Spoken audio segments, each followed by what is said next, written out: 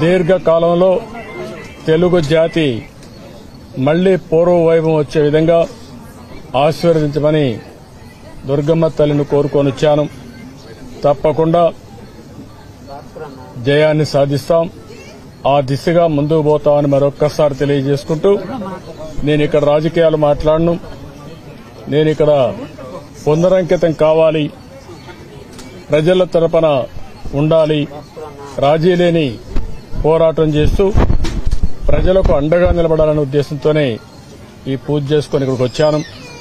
దీనికి ఆశీర్వదించిన దుర్గమ్మ తల్లిని అదే మరిగా మిమ్మల్ని తెలుగు వాళ్ళు ఎక్కడున్నా ప్రపంచంలో తెలుగుదేశం పార్టీ ఎప్పుడు కూడా వాళ్ళ యొక్క అభివృద్ది కోసం సంక్షేమం కోసం పోరాడుతుంది పాటుపడుతుంది.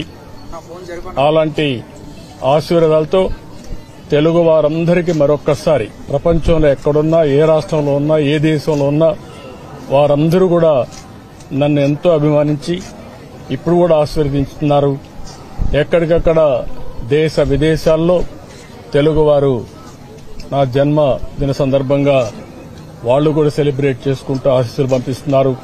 వాళ్ళందరికీ మనస్ఫూర్తిగా నా ధన్యవాదాలు తెలియజేసుకుంటూ ఏ ఆశ ఏ ఎక్స్పెక్టేషన్స్ అయితే మీకున్నాయో ఆ ఎక్స్పెక్టేషన్స్ ప్రకారం నేను పనిచేస్తూ తెలుగుదేశం పార్టీ నడిపిస్తానని మరొక్కసారి అందరికీ హామీ ఇస్తూ అభిమానం చూపించిన ప్రతి ఒక్కరికి మనస్ఫూర్తిగా శిరస్సు వంచి నా నమస్కారాలు తెలియజేసుకుంటూ సెలవు తీసుకుంటాను